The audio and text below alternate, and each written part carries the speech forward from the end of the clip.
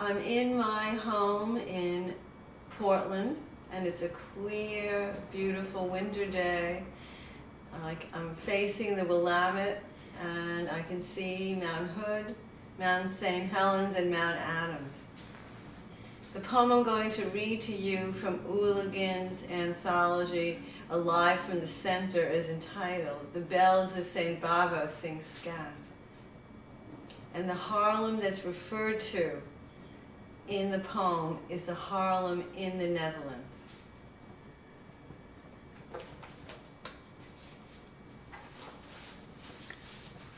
The bells of St. Bavo sing scat, anticipating the lovers who will soon be voices with bodies again.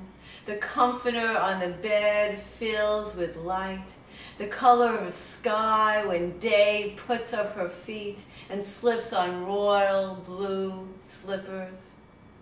Outside their window, the man on the roof dangles a dancing bear or a baby grand or whatever the lovers want to unhook and haul inside.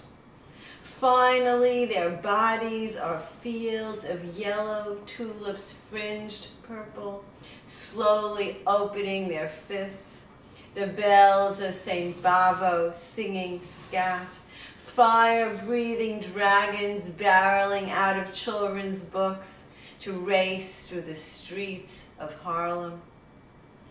Belts daddies use for beatings stay in the loops of their pants.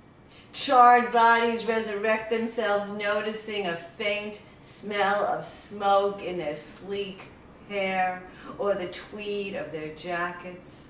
While lovers who parted without declaring their love feverishly lick stamps on envelopes of yellowed love letters or claw at blood red wax seals.